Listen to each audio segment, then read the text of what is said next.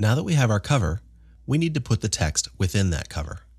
If we do it like we did before, we go over to the toolbox, click and hold down on the text tool, select horizontal type tool, and then click in the middle of this box, we get our text insertion point, and we know that the text is going to go right there. So let me type this in.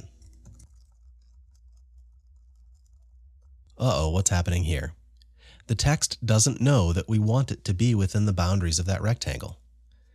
So if we remember before, we could go in and we could click inside the text, we could hit return, and manually space each line out. But what a pain. There's got to be a better way. And there is.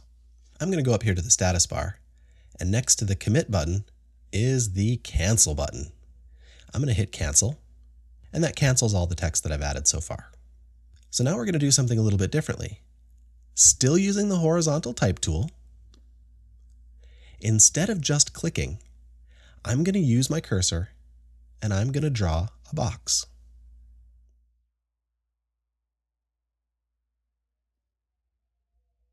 See what happened there?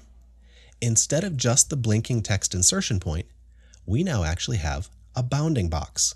We've got these dashed lines with the little squares in the corners, which are called handles.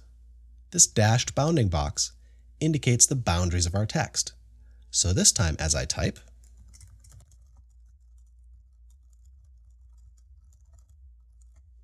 Notice how the text wraps automatically here? That's because we drew the box ahead of time. If we don't like the size of our box, we can go out to these little squares along the edge of the bounding box, which are called handles. And remember before when I told you to watch the shape of those cursors? Watch what happens when I mouse over a handle. The cursor changes to some arrows. As soon as you see those arrows, you can click and hold down and drag that edge. Whoops. It's a little fussy. Got to make sure you're in exactly the right place. And then drag.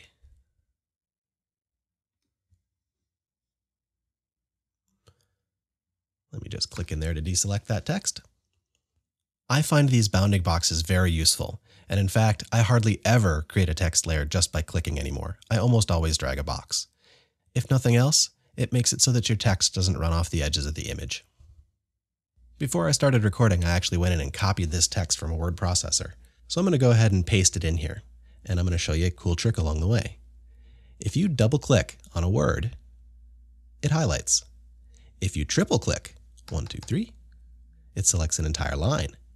If you quadruple click, one, two, three, four, it selects the whole paragraph.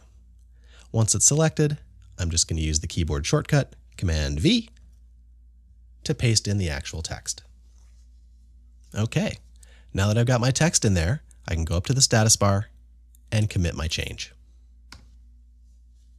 Notice over in the Layers palette, this text layer that was created with a box looks just like the text layer we created before. So we did two major things here.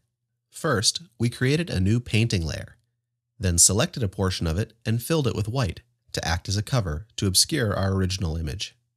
Then we added text in a new way, Still using the horizontal type tool like we had before, instead of just clicking, this time we dragged a bounding box, which enabled Photoshop to wrap the text automatically for us.